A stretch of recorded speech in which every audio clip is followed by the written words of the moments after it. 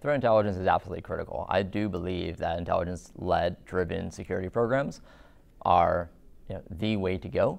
Um, when we think about it in our program, we are um, approaching it from two veins. One, the application of that threat intelligence technically uh, across the scale of our environment, and two, the understanding of the intelligence in order to create a risk picture that is informative to our executive.